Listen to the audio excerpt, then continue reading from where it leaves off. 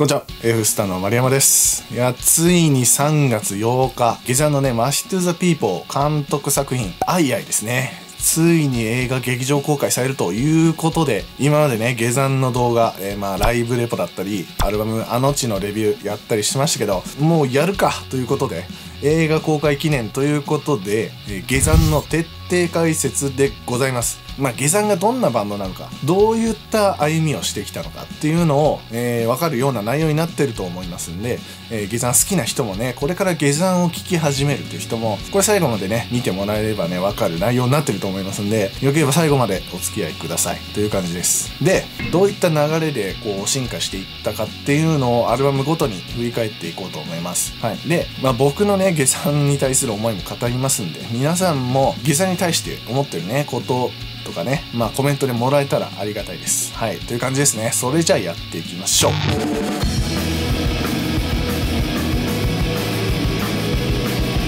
下山ですね、2009年に大阪で結成されたバンドになっております。ボーカルギター、マヒトゥーザピーポー。で、ギターがイーグルタカ、ベースはヤクモアですね。で、ドラムが石原ロスカルの4ピースバンドになっております。で、初期のメンバーはね、カルロス・尾崎サンタナがベースでして、で、ドラムがシャーク安江というね、4ピースバンドでございました。で、リズム体が違ったという感じですね。まあ、下山の魅力っていうところなんですけど、やっぱね、えー、まあいろいろあるんですけど、まあまずビジュアルですね。赤いビジュアルというところ。すいません、今回継承略できますけど、まあ人が単純に赤色が好きだっていうところで、赤に統一されたアートワークだったり、衣装だったりね、えー、いろんなところで赤っていうものを強調している、えー、統一されたビジュアルワーク。まあ一回見たら忘れらんないね、アートセンスっていうところと、で、やっぱり、真人のカリスマ性ってところが、まあ、とてつもないなと。いうところですね。この人が紡ぎ出す言葉っていうのがとんでもない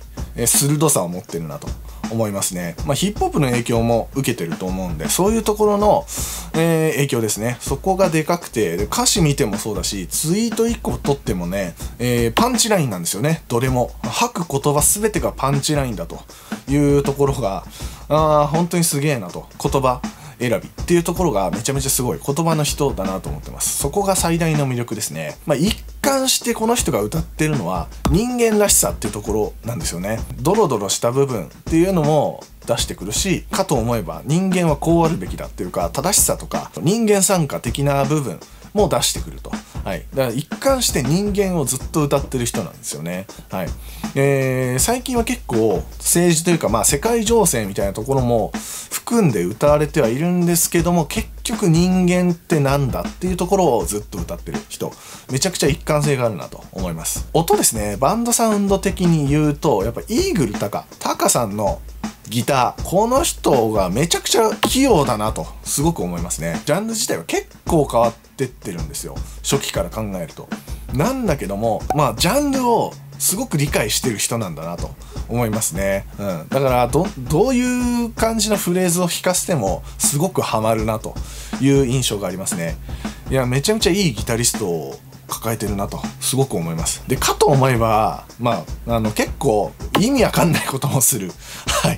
そ、これがまた面白いところで、30時間ね、ドラムを叩き続ける YouTube の配信をしたり、で、しかもこれね、なんかギネスの申請失敗して、えー、本当に意味がないっていう配信になったんですけど、それを本気でやるっていうね、ところもあったり、あと、タカさんがフジロックのホワイトステージに出るのに、ギターを忘れてきて、フジロックの会場について一回帰ってギター取ってからまた来るみたいなね、あの、そういうエピソードもあったりしてね、あの、結構むちゃくちゃでね、そこも好きなポイントですね。はい。まあ、音がめちゃくちゃかっこいいってところもあるんですけど、やっぱ、まあ、アンダーグラウンド的な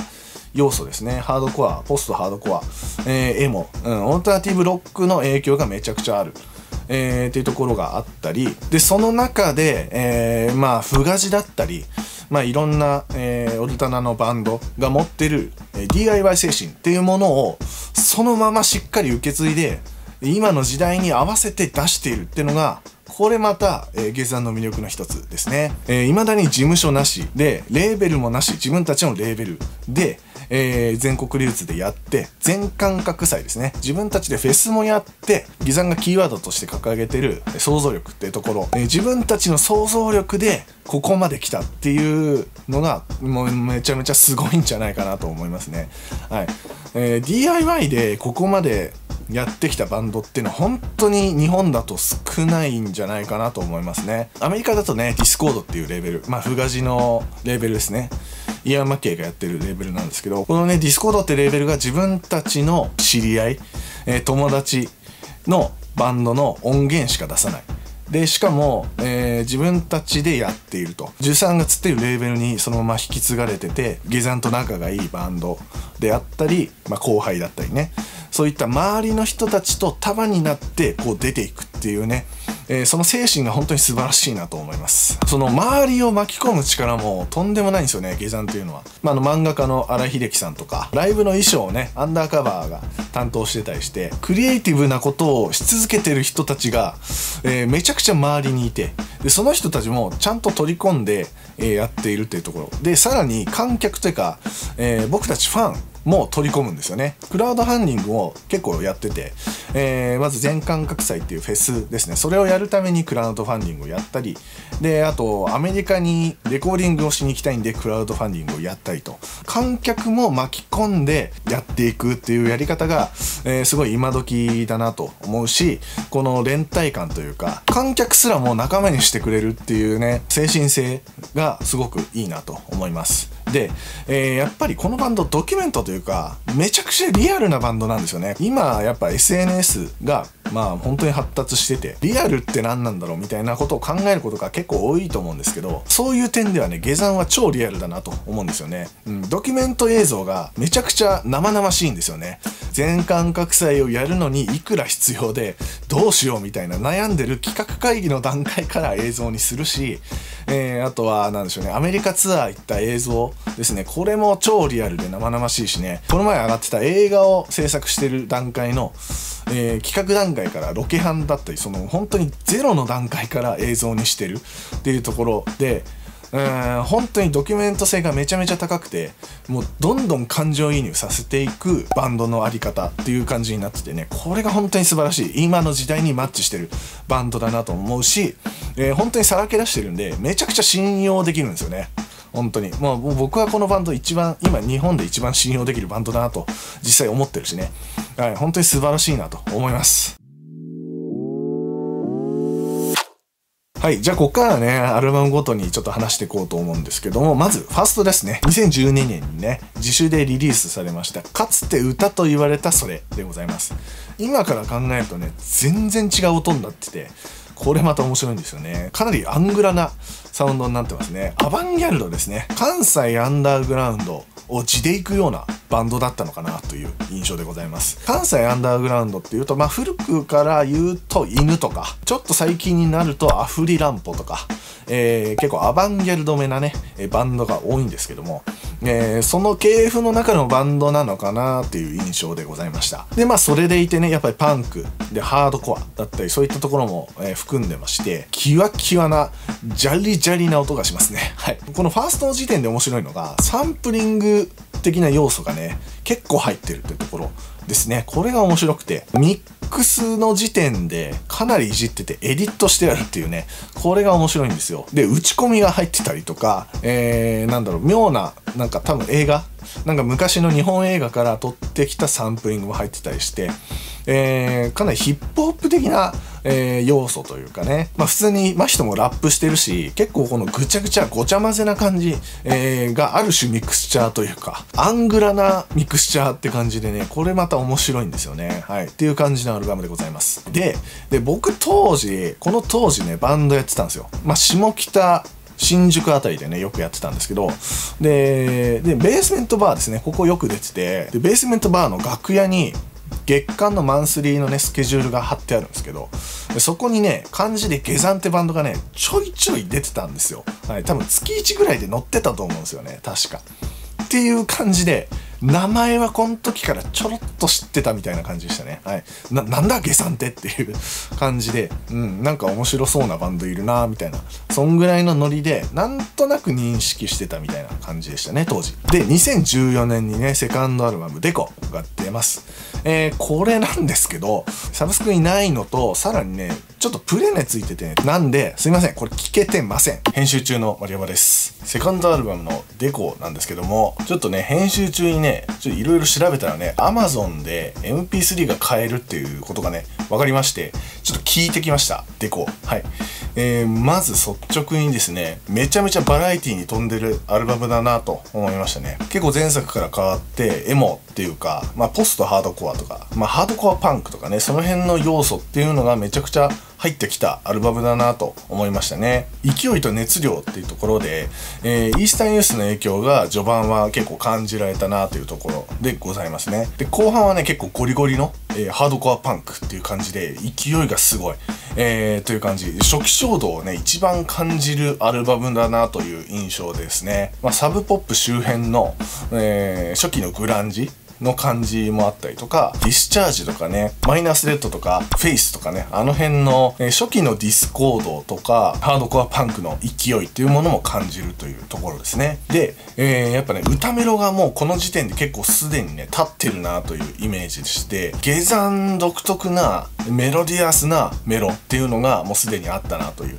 イメージでございます。ミクスチャーっぽいノリっていうのも結構入ってたりとか、あとは、かといってね、ファーストのね、あの変態な、あのアバンギャルドな感じっていうのも、えー、まだちょっと残ってる感じがあるし、あとはね、あの、真人のソロのね、アルバムが何枚かね、この後に出るんですけど、その感じのね、優しいアコースティックな、えー、歌とギターのね、このシンプルなえ構造の曲っていうところも結構入ってたりしましたね。で、歌詞の面でもね、今につながるような部分があったりしてて、結構風刺が効いてるんですね、このアルバム。っていうところがね、今のこのスタイルっていうものに、えー、通ずる部分も結構感じられたなというところで、えー、面白いアルバムですね。結構本当にいろんなね、ジャンルの音楽を吸収している、えー、最中って感じがして、ね、めちゃくちゃいいアルバムなんじゃないかなと思います。これ結構好きでしたね。えー、聞いた感じ。あの意外でした。はい。これは面白い発見でしたね。というところです。はい。じゃあ当日の映像にお戻しします。で、2016年ですね、サードアルバム、えー、ネバーエンドロール出ました。で、このアルバムでかなり路線変更があって、えー、結構歌物によったアルバムになってますね、これが。下山のアルバムの中でも、多分一番ポップなアルバムだと思思います。これはめちゃめちゃポップで聴きやすいですね。下山の入りとしてここがめちゃめちゃいいんじゃないかなと思ってますね。で、シンガロングもめちゃくちゃ多いしね、びっくりしましたね、これ聞いた時ね。で、まあどちらかというと、もう青春パンク、だ銀杏ボーイズとか、そっちに近い感じな気がしますね。音のメロディアスな部分としては。で、まあ本当にこのアルバムはね、名曲が多くて、ロストイジトのね、スプリットの7インチを前に出してたんですけど、えー、その時のブルーアワーっていう曲が入ってたり、ウエステッドユースですね。これはもう皆さんご存知の曲。で、あと、言いたいだけのボイドとか、タイム、エンドロールとかね、本当に名曲が多いなという印象ですね。で、ちなみにね、言いたいだけのボイドの、えー、ミュージックビデオあるんですけど、これあの、イースタンエスとかブッチャーズでおなじみの川口淳さんが監督しておりまして、はい、これ必見のえー、PV でございます。はい。これ多分夏の外でずっと撮ってたんだろうなって感じで、真人がちょっと日焼けしてんのも、えー、印象深いミュージックビデオでございます。はい。で、このアルバムがありまして、ドラムのシャークですね。で脱退してしまうという感じでございました。で、僕の話になるんですけど、この頃ですね、まあさっき言ったロストエイジとのスプリットもあったりとか、当時ね、ビレッジヴァンガードで働いてまして、で、あの、CD 担当だったんですね、僕。で、P バインの担当の人とちょっと仲良くて、で、P バインの人が結構ね、えー、エモとかポストハードコアが、えー、好きな人で、結構話が合う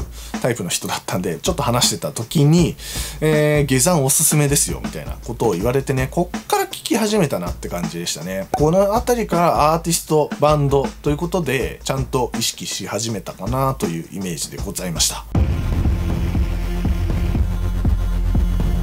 次はあのシングルになっちゃうんですけど、2017年のリリースですね。アブソリュートリーイマジネーションでございます。これはやっぱ外せないんじゃないか。シングルですけど、やっぱ下山を象徴する一曲となってますんでね、これは外せないかなというところですね。リリースはあの元銀杏ボーイズのアビちゃんがやってるキリキリビラからリリースしておりました。で、このシングルからね、ドラムで石原ロスカルが加入という感じになっておりますね。で、本当に下山を代表するような一曲になってまして、で、まあもうタイトルにある通り、アブソリュートリーイマジネーションだと、想像力を持ってやっていくというね、この下山が掲げてるテーマがこのタイトルにも入ってるっていうところもあるし、まあ、歌詞の内容を見るともうブルーハーツをね引き合いに出してまして、えー、そういうところでめちゃめちゃその時代を引っ張っていくぞというね、え覚悟をすごく感じるような、えー、内容になってましたね。はい。ちょっと見てみましょう。終わらない歌が終わったから暗闇なんだ現在リンダリンダじゃもう震えない心から今始まる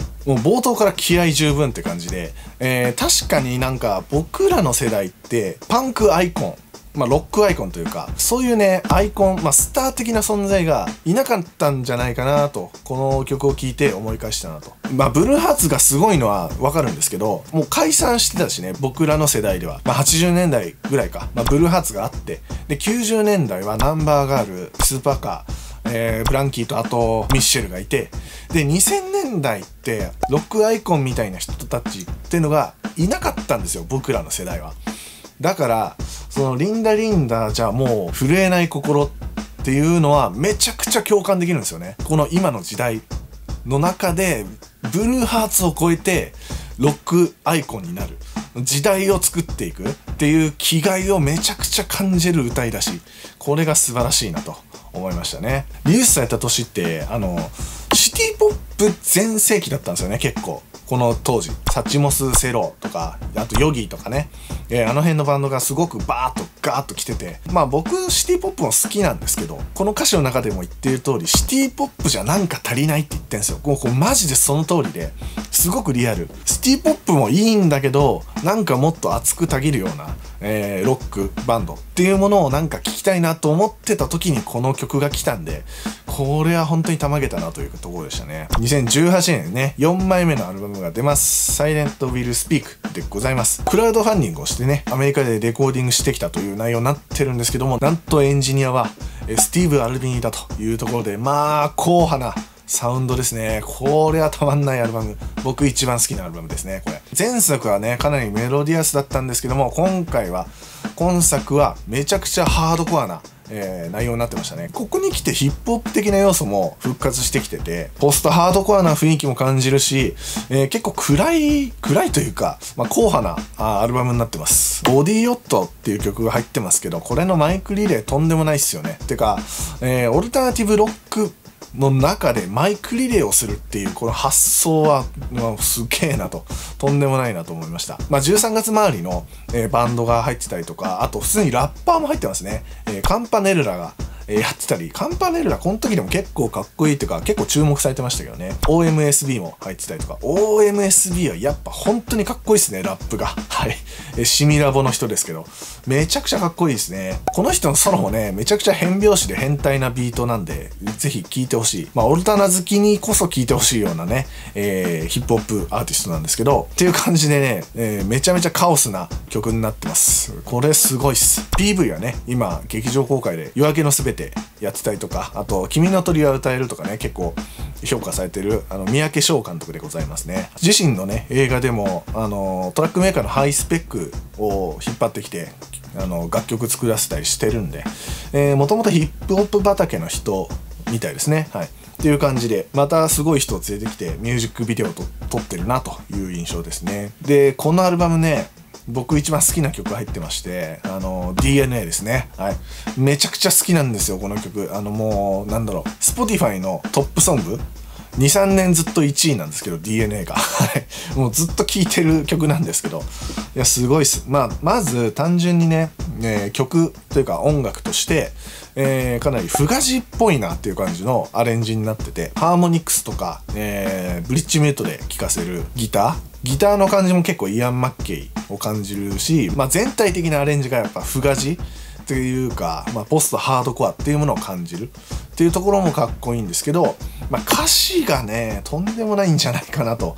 いうところですね。全体的にえー、結構人間参加のね、内容になってまして、まあちょっと抜粋して見ていこうと思うんですけど、歌の中でなら天使にだってなれるし、神様の顔面に唾だってかけれるよ。クソな真実ならエレキで書き消そう。そのためにファズがある。この歪みこそが愛だよっていうね、これ、マジでその通りというか、ファズが鳴る瞬間に、この曲と歌詞がリンクして、ファズっていうキーワードが入るっていうね、これはもうめちゃくちゃ痺れるところだし、まあ最後の方の部分も、寂しさと喜び半分ずつ持って好きな仲間をこのフロアに集めた。シワが増えていくのを綺麗と呼ぶ君がいればもう少し人間を続けてもいいはずさ。っていうね下山を聞いてる僕たちだったりライブの会場にいる僕たち。をもう肯定してくれるというかもう仲間に入れてくれるしシワが増えていくっていうこの流れで年を取っていくこと生きていくっていうことをめちゃくちゃ肯定してる内容になってて人間を肯定してるし僕たちを肯定してくれるという内容になってますね。これは素晴らしいですね。一世一代の歌詞なんじゃないかと。思うぐらいなんですけど、 GEZAN はさらにどんどん更新していくという感じでしたね。はい。いやこのアルバムはマジでおすすめでございます。で、2019年にですね、ドキュメントの映画が公開されてまして、 Tribe Called Discord というね、えー、作品になってまして、アメリカツアーとレコーディングを追ったドキュメントになってます。で、これがね、下山の中でめちゃくちゃ大きい体験というか、これを見るとね、下山がなんで今こういう音楽性になったかっていうのがめちゃくちゃわかる内容になってますね。アメリカにまだある差別というか世界にまだまだある差別ってものがめちゃくちゃにじみ出てくるとバンドを追ったドキュメントじゃなくて明確に差別っていうもののテーマがあってそれをどうやって僕たちは向き合うべきなんだっていう、えー、めちゃくちゃメッセージ性の強いねえー、作品になってますね。これは見るべき作品だと思います。はい。で、ここでリアルで肌で感じた差別っていうものが、えー、後の音楽性だったり、メッセージ性ってところにめちゃくちゃ影響を与えたツアーだったんだなっていうのが、えー、すごく見えてくる、えー、作品でございます。で、2019年はね、僕もね、下山にね、めちゃくちゃドハマりしましたね、ここ。あの、フジロックの生配信で、えホワイトステージのね、一発目10時から出てたんですけど、とんでもないライブでしたね。あの、配信でもわかるぐらい熱量と、カオスの具現化っていう感じで、とんでもなかったのを覚えてます。で、この時にね、ボディヨットもやってて、ノベンバーズのね、小林祐介とか、あとカンパネルラも出てたし、あと、ディスチャーミングマンのね、海老名さんとかも出てたりして、えー、ここでマジで釘付け、あの、普通に手止まって口開けながら、もう画面ガン見しながら、えー、見ちゃって、えー、こっからドハマりしたなという感じで、で、その後の9月にあった全感覚祭ですね、台風直撃で全晴らしになるというね、超アクシデントの中、えー、いろんなところに掛け合って渋谷のライブハウス中を借りて、夜中のオールナイトイベントとして開催するという、えー、かなりむちゃくちゃなことをやってるわけでね。まあ基本無料というか、えー、カンパでやってるイベントなんで、それを渋谷の中でやっちゃうっていうのもすごかったですね。僕、当時ね、あの、恵比寿が職場だったんで、普通に仕事終わりそのまま行って、オーイースとかあの周りの道、本当にね、まあ普通の光景じゃなかったっていうところで、マジで非日常でね、めちゃくちゃ面白かったなと思いましたね。共犯者というか、うん、なんかやばい遊びしてる感じがすごくしてね、えー、すげえ楽しかった記憶あります。はい。で、この全感覚さえ行ったことによってドハマりしたなということ、感じでしたね。えー、2020年ですね、5枚目のアルバム、クルーが出ますと。はい。まあ、これはもうね、ここで入った人多いと思いますけど、まあ、超名盤のね、えー、とんでもない化け物級のアルバムなんですけど全編ね BPM100 で統一されててシームレスにつながっていくアルバムでもう本当に一個の生き物みたいなねうねってるもうとんでもないアルバムになってましたねでこっからなんかダブとかケチャとかねそういったなんか民族的なルーツ的な要素みたいなのも入ってきて新しいミクスチャーっていう感じがありましたね。これが面白かったですね。かなりコンセプチュアルなアルバムになってましてテーマとして東京ってものが一貫してあったえー、アルバムですね。消費社会だったり政治っていうところに問題提起しながら時代が変わるっていうことをめちゃくちゃ予見させるアルバムになってました。この直後にコロナがあると。いう感じで、もうコロナを予見してた未来予知的なアルバムになってて、普通だとありえないほどの時代とのリンクの仕方。あの、下山ってね、結構今起こってる問題っていうものを、そのまますぐ取り入れてスピーディーに出すっていうのが、えー、そのバンドの一個のスタイルとしてあると思うんですけど、でもここまでのタイム感というか、時代より先にやっちゃうっていうのは今までなかったんで、ここまでタイム感ある現状をね、歌えるバンドっていうのは、えー、後にも先にも出ないんじゃないかなと思いますね。で、本当に現状のカオスとか絶望みたいなところを前半歌っていって最後東京と愛で救いというか希望というかどうあるべきなんだ俺たちはっていうところを見せて終わるアルバムになってましたね。うん。いや本当に東京って曲がとんでもなくてはい。えー、だからさっきあったアメリカツアーでも感じた、えー、肌で感じたえー、差別であったりとか、えー、戦争とかね SNS が発達してきた現在の中で現状をめちゃくちゃリアルに語る序盤があってなんだけども後半でここまで問題提起してきたものをどうするべきなんだろうっていうのをここで教えてくれるというか目の前の人を大事にしていくことだったり周りの人だったり物事を、えー、よく少しずつ良くしていくことそういうちっちゃいところから始めればいいんだよっていうのを教えてくれるような、えー、曲になってましたね。いやそこの救いというかまあ本当にできることからでいいんだっていうね一からやっていこうよっていうのが等身大でいいんだなっていうねというところを身に染みて感じましたね。でその後の曲の愛っていうところはもうこれ希望でしかないなくて、はい、すごいんですよ。もう、あ、いいんだ人間最高ってなる。っていうね、はい。うん、最終的に人間参加に帰ってくるっていうのがやっぱ下山なんだなって思いますよね。本当に戦争とかいろいろ差別とかあるけど、結局人間なんだから、同じ。俺たち同じ人間なんだから分かり合えるはずなんだよっていうね。本当にこれは大名盤なんじゃないかなと思いましたね。はい。でこっからはもう下山のターンです。2020年は。コロナ禍に配信されたねドキュメンタリーの動画が YouTube にあるんですけど Wish っていう動画ですね。これがコロナ禍での現場の音楽シーン。っていうものを追ったドキュメンタリーになってて新宿ロフトの店長さんにインタビューしたりとかあと下北のライブハウスですね。まあいろんなアーティストだったりライブハウスにインタビューをしててどういった被害を受けたのかとか、えー、逆に新しい価値観を見つけて新しい音楽のあり方ってものを見つけた人がいたりとかね。でその中で下山はどうするんだっていうのを最後に見せるんですけどいやーそうかやっぱ下山だなというか一個一個できること目の前のできること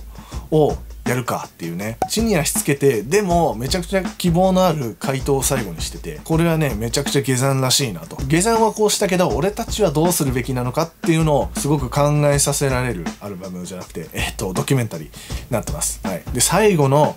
タカさんの一言があるんですけど、これがね、めちゃくちゃ泣きますね、これは。はい。シンプルでいいんだと。シンプルに着実に一歩ずつやっていこうよっていうね、そういうものを受け取りましたね。で、えー、2020年末にね、えー、ベースのカルロスが脱退しますという感じです。いや、大変ですよ。はい。はい。で、これでリズム体が全変わりしちゃうというところでしたね。で、2021年に未発表音源集ね、B サイドレベリオンかなはい。これがリリースされますね。昔からの曲だったり、最近の曲も入ってたりして、えー、これ結構いろいろバラエティ飛んでて面白いんですけど、まあ、言いたいだけのボイドの別バージョンがあったりとか、えー、コロナ禍のね、えー、ふつふつとした現状を歌った照明っていうね、これもとんでもない曲なんですけど、これが入ってたりとか、青い春でもおなじみの映画監督ですね、豊田俊明さんが、えー、やった映画、これ破壊の日に、えー、真人がね、出てたんですけど、えー、これのために書き下ろされた「怪実」っていう曲。これもくそかっこいい曲になってます。かなりハードコアポストハードコアな感じかな。はい。めちゃくちゃかっこいいですね。こういう曲も入ってたりして面白い内容ですね。これもぜひ。で次がね2023年の6枚目のアルバム「あの地」でございます。これはね GEZAN with Million Wish Collective 名義のアルバムになっております。これはね僕あのアルバムの単発レビュー出してますんでそっちで、まあ、詳しく話してるんですけど20人ぐらいか。はい。のコーラス隊が入ってるということで、まあ本当音のね、共同体というか、声の集合体の圧力っていうね、人間の圧っていうのがね、とても感じるし、独特のグルーブっていうのがね、すごく渦巻いててね、めちゃくちゃうねったアルバムになってますね。レゲエ的な要素もあったりして、えー、まあ民族的な要素もここでやっぱ強まっててね、これも面白かったですね。で、アルバムの構成もね、すごく、えー、狙えててね、えー、前半は結構問題提起していく内容になってて、真ん中にある水点以降にこの問題の回答みたいなところを、えー、語っていくというね感じの花、うん、アルバムの流れになってましたねでこのアルバムで2019年ぐらいから続いてた人間の在り方だったり狂えてね取り入れた民族音楽的な、えー、要素っていうところの、えー、集大成的なアルバムなのかなという、えー、印象でございますね。はい。かなりもうこれで最大到達点までいったなという、えー、感想でございますね。 GEZAN はね、映像作品もね、めちゃくちゃいいんで、それもちょっと話していきたいんですけど、えー、まあ、さっき言ったね、あ Tribe Called Discord、これもぜひ見てほしいんですけど、えー、ライブ DVD ですね、これもとんでもなくて、日比谷野音のね、単独公演の収録した独炎っていうね、DVD がありますけど、これが通常のカメラに加えて、これみんな多分見たことある、あの家にあったようなね、テープのビデオカメラを多分10台ぐらい入ってたかな。はい。えー、それを織り交ぜててね、結構その画質をミックスして、えー、作ってる、えー、ライブ映像になってまして、これめちゃくちゃ面白いんですよ。最近ね、そういうね、画質をミックスするっていうのが結構主流というか流行ってきてて、えー、その中でできた1枚というところで見せ方としてめちゃくちゃ面白い。クリエイティブなライブ映像っていうところだしライブ映像っていう枠に収まらないっていうところが下山の面白いところでなんかイメージ映像とかね結構入ってたりするし僕はそのライブ映像をよく撮るんですけどライブってやっぱねドキュメント性なんですよね。再現できない一発勝負の、えー、ライブを撮影するからドキュメント性ってものがめちゃめちゃ大事だなと思って撮ってるんですけどギザはそれをめちゃくちゃ分かってるというか普通であればね切るシーンですね。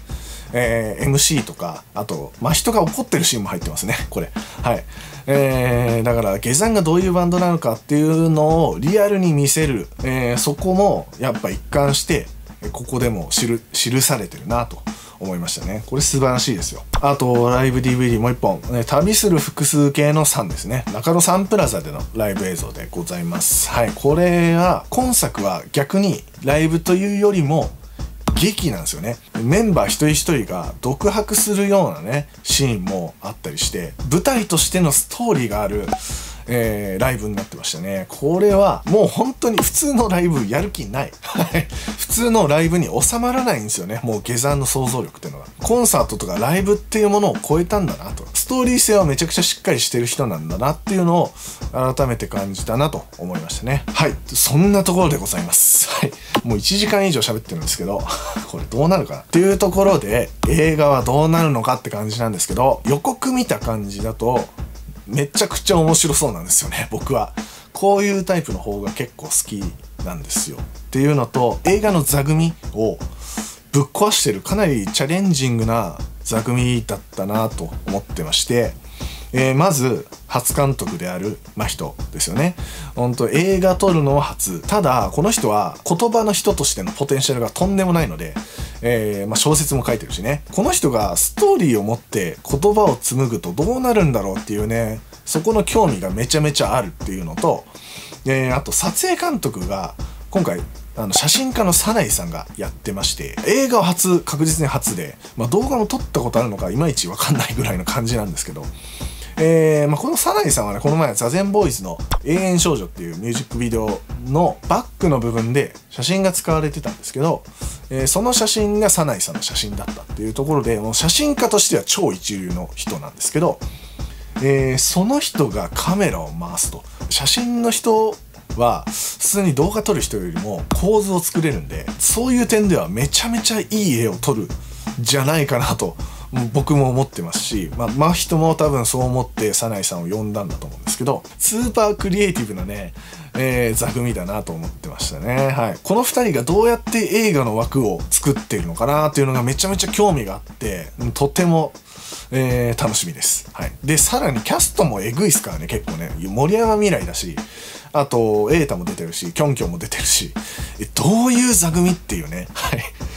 これは面白いんじゃないかなと思いますね。うん。だし、しかも、あと話の内容自体も結構真人の自助伝的なね反自伝的な内容なんじゃないかなという予想ができるドキュメント見た感じもねそんな感じだったんでやっぱ下山から通ずるリアルを見せるっていうところでもあこれはもうめちゃめちゃ賞賛あるなという感じだしだからほんと期待しかしてないですね。今年下手したら一番面白いぐらいのとんでもない面白いやつがねできる可能性全然あるなと思ってるんでこれは結構期待していいと思いますよ皆さん。はいいかがでしたかね？はい。どうですか？みんな納得してくれたら嬉しいですけど。はい。まあここちょっと違くないとかまああの僕前回のね座禅ボイスで大事なところでやらかしちゃってるんで、えー、ここちょっと違うよとか、えー、コメントで教えてくれたりしたらありがたいです。はい。という感じで良ければ高評価チャンネル登録お願いいたします。で概要欄にねいろいろ書いてありますんでよければ見てくれたらありがたいです。それじゃあまた。